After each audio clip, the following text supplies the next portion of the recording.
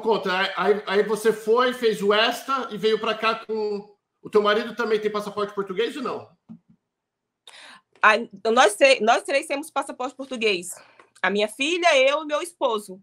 Nós conseguimos visto através mesmo do da agência mesmo. No, ou no mesmo dia eles te falam que você está aprovado, ou então eles outro dia eles te ligam falando que foi aprovado o seu visto. Não tem burocracia nenhuma as pessoas da Europa vir para os Estados Unidos.